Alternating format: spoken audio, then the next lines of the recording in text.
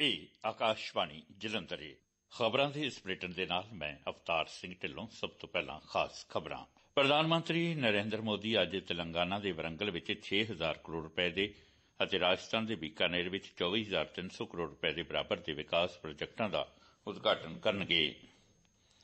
Petroleum ਤੇ ਕੁਦਰਤੀ gas ਬਾਰੇ ਕੇਂਦਰੀ ਮੰਤਰੀ ਹਰਦੀਪ ਸਿੰਘ ਪੁਰੀ ਦਾ ਕਹਿਣਾ ਹੈ ਕਿ ਸਾਲ 2025 ਤੱਕ 20% ਇਥਾਨੋਲ ਸਿਮਰਤ ਮਿਸ਼ਰਤ ਪੈਟਰੋਲ E20 ਦੇਸ਼ ਭਰ ਵਿੱਚ ਉਪਲਬਧ ਹੋਏਗਾ।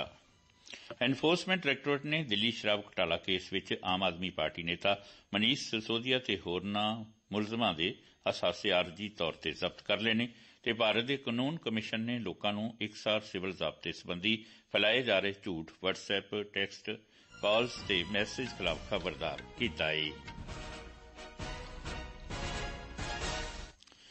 ਪ੍ਰਧਾਨ ਮੰਤਰੀ ਨਰਿੰਦਰ ਮੋਦੀ ਅੱਜ ਸਵੇਰੇ ਤੇਲੰਗਾਨਾ ਦੇ ਵਰੰਗਲ ਵਿੱਚ ਕਈ ਬੁਨਿਆਦੀ ਢਾਂਚਾ ਪ੍ਰੋਜੈਕਟਾਂ ਦਾ ਨੀਂਹ ਪੱਥਰ ਰੱਖਣਗੇ। ਉਹ ਵਰੰਗਲ ਪਹੁੰਚਣ ਲਈ ਵਾਰਾਣਸੀ ਤੋਂ ਇੱਕ ਵਿਸ਼ੇਸ਼ ਉਡਾਨ ਰਾਹੀਂ ਹਾਕਮਪੇਟ ਹਵਾਈ ਅੱਡੇ ਪਹੁੰਚਣਗੇ। ਮਸ਼ਹੂਰ ਬਦਰਕਲੀ ਮੰਦਰ ਦਾ ਦੌਰਾ ਕਰਨ ਦੇ ਬਾਅਦ ਪ੍ਰਧਾਨ ਮੰਤਰੀ ਵਰਚੁਅਲ ਮਾਧਿਅਮ ਰਾਹੀਂ 6000 ਕਰੋੜ ਰੁਪਏ ਤੋਂ ਵੱਧ ਦੇ ਬੁਨਿਆਦੀ ਢਾਂਚਾ ਪ੍ਰੋਜੈਕਟਾਂ ਦਾ ਨੀਂਹ ਪੱਥਰ ਰੱਖਣਗੇ। ਉਹ ਹਨਮਾਕੌਂਡਾ ਦੇ ਆਰਟਸ ਕਾਲਜ ਗਰਾਊਂਡਸ ਤੋਂ ਇੱਕ ਜਨ ਸਭਾ ਨੂੰ ਵੀ ਸੰਬੋਧਨ ਕਰਨਗੇ। ਪ੍ਰਧਾਨ ਮੰਤਰੀ ਨਰਿੰਦਰ ਮੋਦੀ ਅੱਜ ਹੀ ਬੀਕਾਨੇਰ ਵਿੱਚ 24300 ਕਰੋੜ ਰੁਪਏ ਦੇ ਵਿਕਾਸ ਪ੍ਰੋਜੈਕਟਾਂ ਦਾ ਨੀਂਹ ਪੱਥਰ ਰੱਖਣਗੇ ਤੇ ਕਈਆਂ ਨੂੰ ਸਮਰਪਿਤ ਕਰਨਗੇ।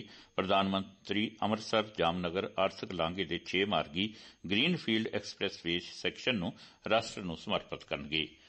ਉਹ ਰਾਸ਼ਟਰ ਨੂੰ ਕੁਝ ਹੋਰ ਪ੍ਰੋਜੈਕਟ ਵੀ ਸਮਰਪਿਤ ਕਰਨਗੇ, ਜਿਨ੍ਹਾਂ ਵਿੱਚ ਲਗਭਗ 10950 ਕਰੋੜ ਰੁਪਏ ਦੀ ਗ੍ਰੀਨ એનર્ਜੀ ਕੋਰੀਡੋਰ ਲਈ ਅੰਤਰਰਾਜੀ ਟਰਾਂਸਮਿਸ਼ਨ ਲਾਈਨ ਦਾ ਗੇੜ ਇੱਕ ਵੀ ਸ਼ਾਮਲ ਹੈ। ਪ੍ਰਧਾਨ ਮੰਤਰੀ 450 ਕਰੋੜ ਰੁਪਏ ਦੀ ਲਾਗਤ ਨਾਲ ਬੀਕਾਨੇਰ ਰੇਲਵੇ ਸਟੇਸ਼ਨ ਦੇ ਪੁਨਰ ਵਿਕਾਸ ਦਾ ਨੀਂਹ ਪੱਥਰ ਰੱਖਣਗੇ। ਬੀਕਾਨੇਰ ਨੇੜੇ ਹੋਣ ਵਾਲੇ ਇਸ ਪ੍ਰੋਗਰਾਮ ਤੋਂ ਬਾਅਦ ਪ੍ਰਧਾਨ ਮੰਤਰੀ ਮੋਦੀ ਇੱਕ ਜਨਤਕ ਮੀਟਿੰਗ ਨੂੰ ਸੰਬੋਧਨ ਕਰਨਗੇ। ਸਾਡੇ ਪੱਤਰ ਪ੍ਰੇਰਕ ਨੇ ਖਬਰ ਦਿੱਤੀ ਹੈ ਕਿ ਅੰਮ੍ਰਿਤਸਰ ਜਾਮਨਗਰ ਗ੍ਰੀਨਫੀਲਡ ਐਕਸਪ੍ਰੈਸ ਰਾਜ ਦੀਆਂ ਆਰਥਿਕ ਗਤੀਵਿਧੀਆਂ ਨੂੰ ਹੁਲਾਰਾ ਦੇਵੇਗਾ। ਭਾਜਪਾ ਨੇ ਰਾਜਸਥਾਨ, ਮੱਧ ਪ੍ਰਦੇਸ਼, ਛੱਤੀਸਗੜ੍ਹ ਤੇ ਤੇਲੰਗਾਨਾ ਲਈ ਤੇਲੰਗਾਨਾ ਲਈ ਚੋਣ ਇੰਚਾਰਜ ਨਿਯੁਕਤ ਕੀਤੇ ਨੇ, ਜਿੱਥੇ ਇਸ ਸਾਲ ਦੇ ਅੰਤ ਵਿੱਚ ਵਿਧਾਨ ਸਭਾ ਚੋਣਾਂ ਹੋਣੀਆਂ ਨੇ।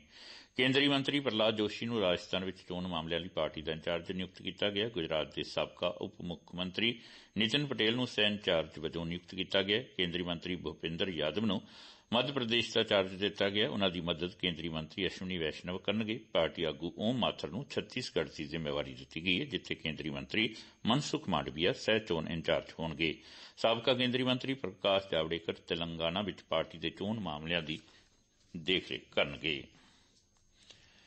ਕੇਂਦਰੀ ਪੈਟਰੋਲੀਅਮ ਤੇ ਕੁਦਰਤੀ ਗੈਸ ਮੰਤਰੀ ਹਰਦੀਪ ਸਿੰਘ ਪੁਰੀ ਨੇ ਦੱਸਿਆ ਕਿ E20 ਪੈਟਰੋਲ ਵੇਚਣ ਵਾਲੇ ਵਿਸ਼ੇਸ਼ ਇੰਧਨ ਸਟੇਸ਼ਨ 2025 ਤੱਕ ਪੂਰੇ ਭਾਰਤ ਵਿੱਚ ਉਪਲਬਧ ਹੋਣਗੇ।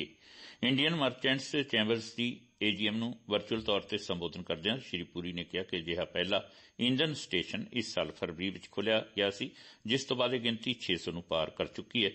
E20 ਇੰਧਨ ਪੈਟਰੋਲ ਦੇ ਨਾਲ 20% ਇਥਾਨੋਲ ਦਾ ਮਿਸ਼ਰਣ ਹੈ। ਮੰਤਰੀ ਨੇ ਦੱਸਿਆ ਕਿ ਪੈਟਰੋਲ ਵਿੱਚ ਇਥਾਨੋਲ ਦੀ ਮਿਲਾਵਟ 2013-14 ਵਿੱਚ 38 ਕਰੋੜ ਲੀਟਰ ਤੋਂ ਵੱਧ ਕੇ 2021-22 ਵਿੱਚ 433 ਕਰੋੜ ਲੀਟਰ ਹੋ ਗਈ ਹੈ। ਸ਼੍ਰੀ ਪੁਰੀ ਨੇ ਅੱਗੇ ਦੱਸਿਆ ਕਿ ਜੈਵ ਇੰਧਨ ਵੇਚਣ ਵਾਲੇ ਇੰਧਨ ਸਟੇਸ਼ਨਾਂ ਦੀ ਗਿਣਤੀ ਦੋ, ਜੋ 2016-17 ਵਿੱਚ 30000 ਦੇ ਕਰੀਬ ਸੀ, ਹੁਣ ਵੱਧ ਕੇ 67640 ਤੋਂ ਵੱਧ ਹੋ ਗਈ ਹੈ।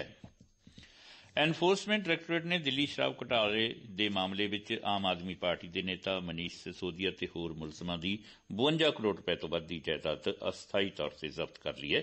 ਜਿਨ੍ਹਾਂ ਹੋਰ ਮੁਲਜ਼ਮਾਂ ਦੀਆਂ ਜਾਇਦਾਦਾਂ ਕੁਰਕ ਕੀਤੀਆਂ ਗਈਆਂ ਨੇ, ਉਹਨਾਂ ਵਿੱਚ ਅਮਨਦੀਪ ਸਿੰਘ ਢੱਲ, ਰਜੇਸ਼ ਜੋਸ਼ੀ, ਗੌਤਮ ਮਲਹੋਤਰਾ ਤੇ ਹੋਰ ਸ਼ਾਮਲ ਨੇ।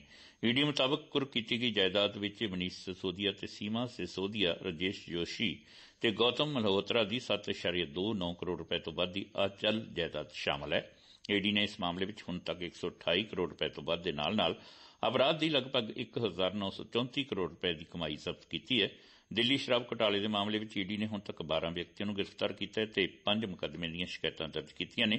ਕੇਸ ਵਿੱਚ ਅਗਲੇਰੀ ਜਾਂਚ ਹਾਲਾਂ ਚੱਲ ਰਹੀ ਹੈ। ਇਹ ਖਬਰਾਂ ਤੁਸੀਂ ਆਕਾਸ਼ਵਾਣੀ ਜਲੰਧਰ ਤੋਂ ਸੁਣ ਰਹੇ ਹੋ। ਭਾਰਤ ਦੇ ਕਾਨੂੰਨ ਕਮਿਸ਼ਨ ਨੇ ਲੋਕਾਂ ਨੂੰ ਇਕਸਾਰ ਸਿਵਲ ਜ਼ਾਬਤੇ ਦੇ ਸਬੰਧ ਵਿੱਚ ਪ੍ਰਸਾਰਿਤ ਕੀਤੇ ਜਾ ਰਹੇ ਧੋਖਾਧੜੀ ਵਾਲੇ WhatsApp ਟੈਕਸਟ ਕਾਲਾਂ ਤੇ ਸੰਦੇਸ਼ਾਂ ਤੋਂ ਸਾਵਧਾਨ ਕੀਤਾ ਹੈ। ਇੱਕ ਬਿਆਨ ਵਿੱਚ ਕਮਿਸ਼ਨ ਨੇ ਸਪਸ਼ਟ ਕੀਤਾ ਕਿ ਇਸ ਦਾ ਇਨ੍ਹਾਂ ਟੈਕਸਟ ਕਾਲਾਂ ਜਾਂ ਸੰਦੇਸ਼ਾਂ ਨਾਲ ਕੋਈ ਸਬੰਧ ਨਹੀਂ ਹੈ। ਇਸ ਵਿੱਚ ਕਿਹਾ ਗਿਆ ਕਿ ਕਮਿਸ਼ਨ ਨੇ ਦੇਖਿਆ ਕਿ ਕੁਝ ਫੋਨ ਨੰਬਰ ਆਮ ਲੋਕਾਂ ਵਿੱਚ ਘੁੰਮ ਰਹੇ ਨੇ। ਉਨ੍ਹਾਂ ਨੂੰ ਭਾਰਤੀ ਕਾਨੂੰਨ ਕਮਿਸ਼ਨ ਨਾਲ ਝੂਠਾ ਜੋੜਿਆ ਜਾ ਰਿਹਾ। ਕਮਿਸ਼ਨ ਨੇ ਲੋਕਾਂ ਨੂੰ ਸਾਵਧਾਨੀ ਵਰਤਣ ਤੇ ਸਹੀ ਜਾਣਕਾਰੀ ਲਈ ਅਧਿਕਾਰਕ ਸਰੋਤਾਂ ਤੇ ਭਰੋਸਾ ਕਰਨ ਦੀ ਅਪੀਲ ਕੀਤੀ ਹੈ।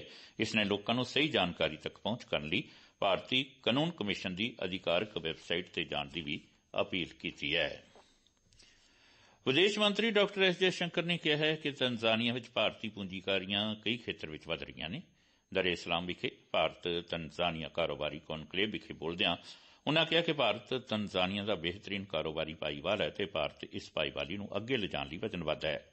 ਉਨੂਾ ਇਹ ਵੀ ਕਿਹਾ ਕਿ ਦੋਹਾਂ ਦੇਸ਼ਾਂ ਵਿੱਚ ਮਜ਼ਬੂਤ ਵਾਧਾ ਵਧੇਰੇ ਸੰਭਾਵਨਾਵਾਂ ਖੋਲ੍ਹਦਾ ਹੈ।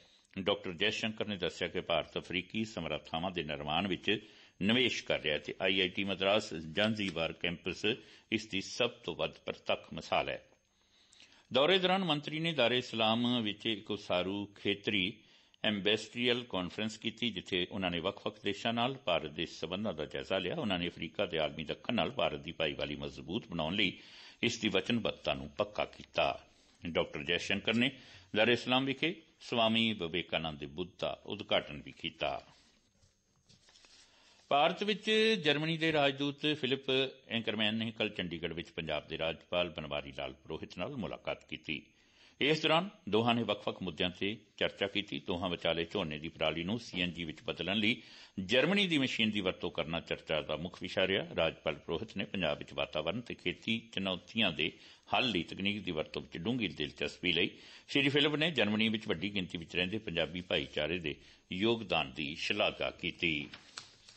ਸੀਮਾ ਸੁਰੱਖਿਆ ਬਲ ਬੀਐਸਐਫ ਦੇ ਮਹਾਨ ਕਮਾਂਡਰ ਪਰਿਮਲ ਕੁਮਾਰ ਘੋਸ਼ ਜੋ 1971 ਵਿੱਚ ਬੰਗਲਾਦੇਸ਼ ਦੀ ਆਜ਼ਾਦੀ ਦੇ ਸੁਤੰਤਰਤਾ ਸੈਨਾਨੀਆਂ ਦੀ ਮਦਦ ਕਰਨ ਵਾਲੇ ਪਹਿਲੇ ਭਾਰਤੀ ਫੌਜੀ ਅਧਿਕਾਰੀ ਸਨ ਨੇ ਵੀਰਵਾਰ ਨੂੰ ਨਵੀਂ ਦਿੱਲੀ ਵਿੱਚ ਆਖਰੀ ਸਾਹ ਲਿਆ, ਉਹ 84 ਸਾਲ ਦੇ ਸਨ। ਮੀਡੀਆ ਖਬਰਾਂ ਮੁਤਾਬਕ ਪੀਕੇ ਗੋਸ਼ ਕੈਂਸਰ ਤੋਂ ਪੀੜਤ ਸਨ। ਘੋਸ਼ ਬੀਐਸਐਫ ਦੀ 92ਵੀਂ ਬਟਾਲੀਅਨ ਦੇ ਕਮਾਂਡਰਾਂ ਵਿੱਚੋਂ ਇੱਕ ਸਨ ਤੇ ਬੰਗਲਾਦੇਸ਼ ਦੀ ਆਜ਼ਾਦੀ ਅੰਦੋਲਨ ਦੀ ਸ਼ੁਰੂਆਤ ਵੇਲੇ ਤ੍ਰਿਪੁਰਾ ਵਿੱਚ ਤਾਇਨਾਤ ਸਨ। ਉਹਨਾਂ ਪਹਿਲਾਂ ਦੱਸਿਆ ਸੀ ਕਿ ਉਹ ਮਾਰਚ 1971 ਵਿੱਚ ਬੰਗਾਲੀ ਲੋਕਾਂ ਤੇ ਪਾਕਿਸਤਾਨੀ ਫੌਜਾਂ ਦੁਆਰਾ ਤਸ਼ੱਦਦ ਅਤੇ ਦਹਿਸ਼ਤ ਦੀਆਂ ਕਹਾਣੀਆਂ ਸੁਣ ਕੇ ਭਾਵਕ ਹੋ ਗਏ ਸਨ ਅਰਬਨ 20 ਮੇਰੀਅਲ ਸਬਮਿਟ ਜੋ ਕਿ ਕੱਲ ਅਹਿਮਦਾਬਾਦ ਤੇ ਗਾਂਧੀ ਨਗਰ ਵਿਖੇ ਸ਼ੁਰੂ ਹੋਈ ਹੈ ਦੇ ਦੂਜੇ ਦਿਨ ਅੱਜ ਨਿਰੰਤਰ ਰਹਿਣਯੋਗ ਵਿਕਾਸ ਲਈ ਇੱਕ ਖਰੜਾ ਸਾਂਝੇ ਏਜੰਡੇ ਨੂੰ ਅੰਤਮ ਰੂਪ ਦਿੱਤਾ ਜਾਏਗਾ।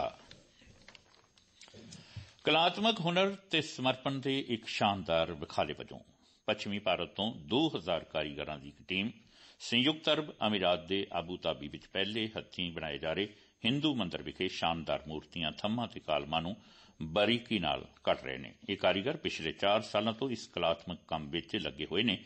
ਉਹਨਾਂ ਵੱਲੋਂ ਕੀਤੇ ਗਏ ਹੁਣ ਤੱਕ ਦੇ ਕੰਮ ਨੂੰ ਆਬੂ ਧਾਬੀ ਦੇ ਅਬੂ ਮਰੀਖਾ ਇਲਾਕੇ ਵਿੱਚ ਮੰਦਰ ਦੀ ਉਸਾਰੀ ਦੀ ਦੇਖ-ਰੇਖ ਕਰ ਰਹੀ। ਬੈਸਟ ਸਵਾਮੀ ਨਰੈਣ ਸੰਸਥਾ ਵੱਲੋਂ ਜਾਰੀ ਇੱਕ ਵਧੀਆ ਵੀਡੀਓ ਵਿੱਚ ਦਿਖਾਇਆ ਗਿਆ। ਬਿਹਤਰੀਨ ਚਿੱਟੇ ਸੰਗਮਰਮਰ ਤੇ ਗੁਲਾਬੀ ਸੈਂਡਸਟੋਨ ਦੀ ਵਰਤੋਂ ਕਰਦਿਆਂ ਕਾਰੀਗਰ ਪਵਿੱਤਰ ਗ੍ਰੰਥਾਂ ਤੋਂ ਕਥਾਵਾਂ ਦੱਸਣ ਵਾਲੀ ਨਕਾਸ਼ੀ ਕਰ ਰਹੇ ਨੇ। ਨੀਦਰਲੈਂਡ ਦੇ ਪ੍ਰਧਾਨ ਮੰਤਰੀ ਮਾਰਕ ਰੂਟੇ ਦੀ ਗਠਜੋੜ ਸਰਕਾਰ ਕੱਲ ਡੇਢ ਸਾਲ ਦੇ ਕਾਰਜਕਾਲ ਦੇ ਬਾਅਦ ਡਿੱਗ ਗਈ ਹੈ। ਸਥਾਨਕ ਮੀਡੀਆ ਨੇ ਦੱਸਿਆ ਕਿ ਸ਼ਰਨਾਰਥੀ ਨੀਤੀਆਂ ਨੂੰ ਲੈ ਕੇ ਚਾਰ ਗਠਜੋੜ ਪਾਰਟੀਆਂ ਵਿਚਾਲੇ ਮਤਭੇਦ ਕਾਰਨ ਸਰਕਾਰ ਡਿੱਗੀ ਹੈ। ਟਾਈਟੈਨਿਕ ਸਮੁੰਦਰੀ ਜਹਾਜ਼ ਦੇ ਮਲਬੇ ਦੀ ਖੋਜ ਕਰਨ ਦੇ ਰਸਤੇ ਵਿੱਚ ਘਾਤਕ ਤੌਰ ਤੇ ਪਲਟਣ ਵਾਲੀ ਇੱਕ ਸਬਮਰਸੀਬਲ ਦੀ ਮਾਲਕੀ ਵਾਲੀ ਕੰਪਨੀ ਨੇ ਕਿਹਾ ਕਿ ਉਸਨੇ ਕੰਮ ਮੁਅੱਤਲ ਕਰ ਦਿੱਤਾ ਹੈ। ਅਮਰੀਕਾ ਦੇ ਵਾਸ਼ਿੰਗਟਨ ਵਿੱਚ ਐਵਰਿਟ ਆਧਾਰਿਤ ਓਸ਼ਨ ਗੇਟ ਇੱਕ ਕੰਪਨੀ, ਟਾਈਟਨ ਪਣਡੁੱਬੀ ਦੀ ਮਾਲਕ ਹੈ, ਜੋ ਮੰਨਿਆ ਜਾਂਦਾ ਕਿ ਇਹ ਉੱਤਰੀ ਐਟਲਾਂਟਿਕ ਵਿੱਚ 18 ਜੂਨ ਨੂੰ ਆਪਣੀ ਉਤਰਾਈ ਦੇ ਦੌਰਾਨ ਹਾਦਸੇ ਦਾ ਸ਼ਿਕਾਰ ਹੋ ਗਈ ਸੀ। ਭਾਰਤ ਦੀ ਪੀਵੀ ਸਿੰਧੂ ਤੇ Lakshya Sen Canada Open badminton tournament ਦੇ ਸੈਮੀ ਫਾਈਨਲ ਵਿੱਚ ਪਹੁੰਚ ਗਏ ਨੇ। ਆਖਰ ਵਿੱਚ ਖਾਸ-ਖਾਸ ਖਬਰਾਂ ਇੱਕ ਵਾਰ ਫਿਰ ਪ੍ਰਧਾਨ ਮੰਤਰੀ ਨਰਿੰਦਰ ਮੋਦੀ ਅੱਜ ਤੇਲੰਗਾਨਾ ਦੇ ਵਰੰਗਲ ਵਿੱਚ 6000 ਕਰੋੜ ਰੁਪਏ ਤੇ ਰਾਜਸਥਾਨ ਦੇ ਬੀਕਾਨੇਰ ਵਿੱਚ 24300 ਕਰੋੜ ਰੁਪਏ ਦੇ ਬਰਾਬਰ ਦੇ ਵਿਕਾਸ ਪ੍ਰੋਜੈਕਟਾਂ ਦਾ ਉਦਘਾਟਨ ਕਰਨਗੇ। ਪੈਟਰੋਲੀਅਮ ਤੇ ਕੁਦਰਤੀ ਗੈਸ ਬਾਰੇ ਕੇਂਦਰੀ ਮੰਤਰੀ ਹਰਦੀਪ ਸਿੰਘ ਪੁਰੀ ਦਾ ਕਹਿਣਾ ਹੈ ਕਿ ਸਾਲ 2025 ਤੱਕ 20% ਇਥਨੋਲ ਮਿਸ਼ਰਣ ਪੈਟਰੋਲ E20 ਦੇਸ਼ ਭਰ ਵਿੱਚ ਉਪਲਬਧ ਹੋਏਗਾ।